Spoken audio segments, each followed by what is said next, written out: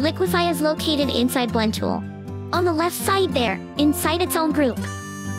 You should be at this since version 1.10.6 couple months ago. But what if you can't find it inside Blend Tool, and you already updated Clip Studio Paint to latest version?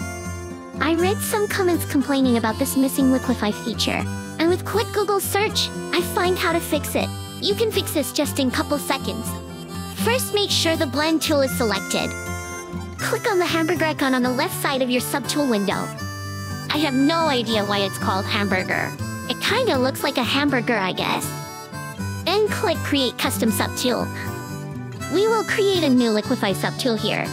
So just name it Liquify, or whatever you want, it's fine. Then this is the most important part. Change the output process to Liquify.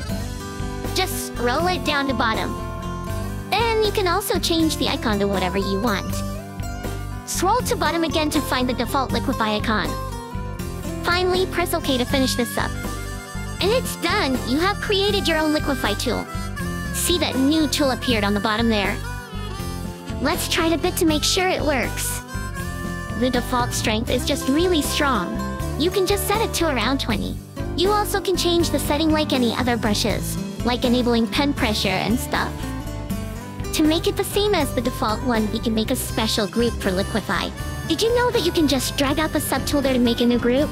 You also can drag it to other subtool if you want. I have no idea why this problem could be happened. I think it's because Clip Studio keeping all the old settings from user. But it's really easy to fix anyway.